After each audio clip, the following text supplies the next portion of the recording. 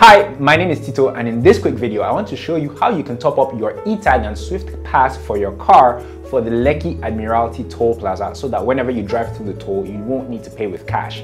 I'll be showing you how to do this using quickteller.com but if you'd like to learn how to do it using GTB's star 737 hash platform just click on the card in the corner of the screen or the link in the description box below.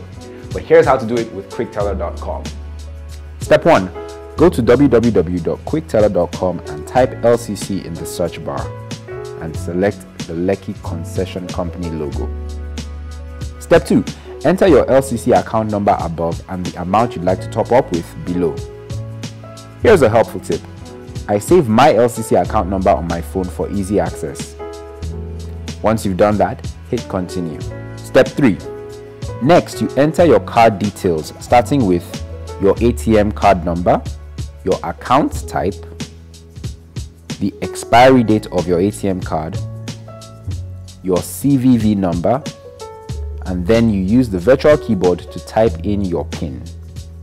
Then click Pay. Step 4. A one-time password or OTP will be sent to your phone. Type it in the bar and click Pay. And that's it. Please note though that your account may not be credited immediately. You can check your balance by sending a text. Just send the word balance and leave a space and then type in your LCC account number and send that text to 5222. Now the benefit of topping up with this method is that it saves you both time and money since you don't need to go to LCC's office or to the bank to top up. You can do it from wherever you are with your smart device. Now if you enjoyed this video, please feel free to give it a thumbs up or to share it with a friend and remember to subscribe to this channel as well. Thanks for watching. I'll see you in the next one.